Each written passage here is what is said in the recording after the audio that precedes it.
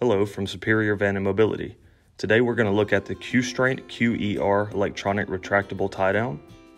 These are used for rear entry conversions where space can be limited to docking the front two tie downs on the wheelchair safely. The retractables are 13 feet long, so you have plenty of length to come to the back of the vehicle under the hatch out of the weather. The QER retractor works off of a simple on-off switch that you can put on either side of your van.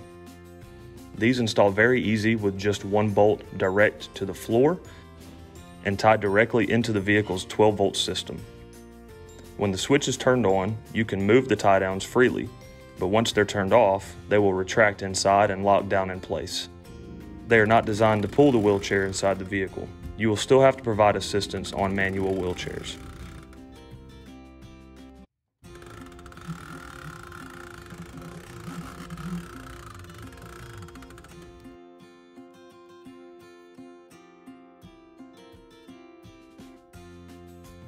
Once you have the wheelchair inside, you can then use the rear two standard retractable tie downs to lock down the back.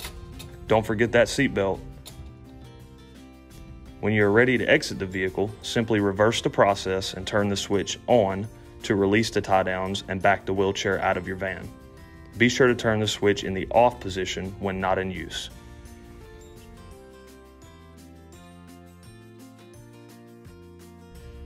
If you have any questions about these tie downs or any other products we have to offer, please visit superiorvan.com or call your local Superior Van and Mobility store today.